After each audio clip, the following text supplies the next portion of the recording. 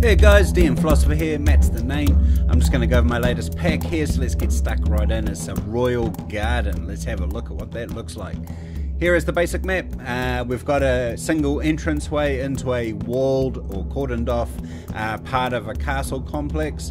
Um, obviously, it would have to be a pretty large castle complex to warrant having its own royal garden, hence why you'd probably find this in just the wealthiest and, and, and most influential nobles' residences. So we've got a gateway here, we've got a bit of an open sort of space here. Um, I'd imagine that um, not only would people wander through the gardens, but you might have uh, young squires or knights and something like that doing conducting a bit of training in, in, a, in a bit more of a serene atmosphere. Um, so, so that could be conducted in, in sort of this space here. Uh, we've got various walkways, uh, lined walkways. There's uh, hedges and edging uh, around the sort of garden areas, um, but uh, there's, there's, a bit of a complex of um, walkways.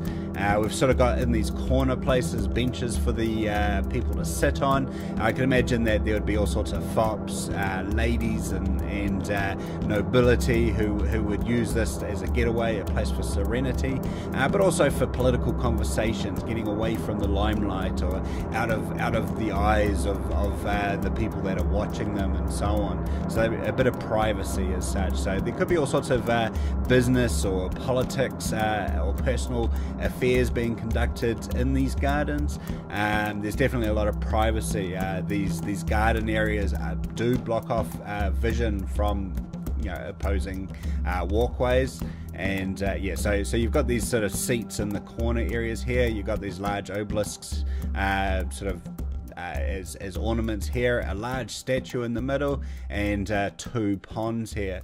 Uh, the ponds, uh, the, the, the stones, as you'll see in the um, point of view shots, uh, are large enough to act as seating, so people could sort of sit around there.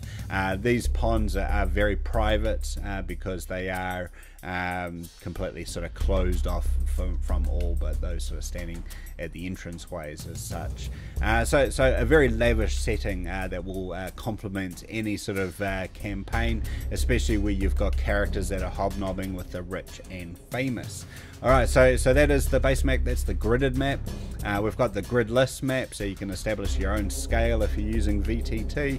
Uh, we've got the nighttime gridded map and the nighttime gridless map. Uh, you can see that there's a lot of shadows right around the edges here, so there's all sorts of space for, you know, sort of intrigue and something like that. Um, it's a great place for assassinations too, just if you want to set something like that up. But anyway, let's jump in and have a look at the point of view shots. So here we've got sort of the entranceway, the, the, the gate to the garden.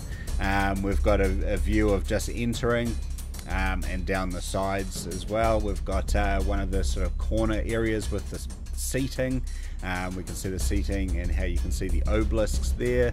Uh, another shot of the obelisks, another shot of the obelisk, but you can just see the top of the statue over top of the bushes. Um, and you sort of head along. So here's the statue here. It's quite a large statue, um, quite a quite an ornate looking statue with gold trim, um, but it definitely uh, sort of stands over those that are near it. And uh, we've got the pond areas here with uh, the lilies and, and so on. Uh, quite a nice sort of tranquil private area here. Um, we've got a couple of shots from the walls, just in case uh, it's important for your characters to have a bit of an overview over the, the garden, so you sort of get an idea of what's visible from the walls. You'd imagine that guards would be uh, posted there, um, so they might uh, observe or be able to react to any ill-doing in the garden. And we've got a couple of a couple of aerial shots just uh, just in case you, you, have got people that like to fly or um, want to gain extra vantage points. Um, we've got exactly the same shots as the daytime shots, but taken with a nighttime filter. So if you've got um, characters conducting uh, anything, any business at night time, secret meetings, rendezvous, and the like, uh, then well, the point of view shops have got that covered. That is the Royal Garden. Um, it's actually quite a nice complement to a couple of other maps that I've got, um, namely the three level manor.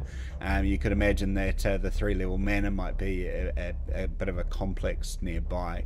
But uh, that is the Royal Garden. You can find that on RPGNow, and um, I'll post a link for that underneath my YouTube clip. I really hope it complements your gaming. Um, and yeah, happy gaming, people.